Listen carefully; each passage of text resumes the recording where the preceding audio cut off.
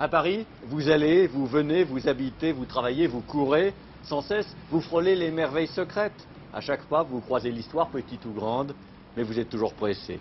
Vous oubliez de lever les yeux. Vous n'avez jamais le temps de vous arrêter, de regarder, de savourer.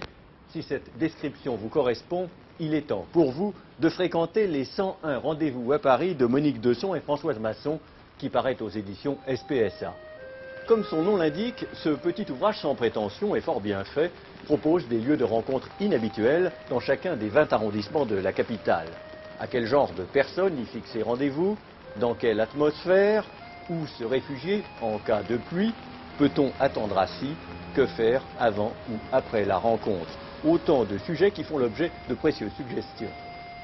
Connaissez-vous le carillon de Saint-Germain-l'Auxerrois, effectivement unique à Paris la plus vieille maison de la capitale, 6 rue de Montmorency dans le 3e arrondissement, et le plus vieil arbre, un robinier planté en 1602 sur les bords de la Seine, le très secret square Récamier et l'agreste place Octave Chanut.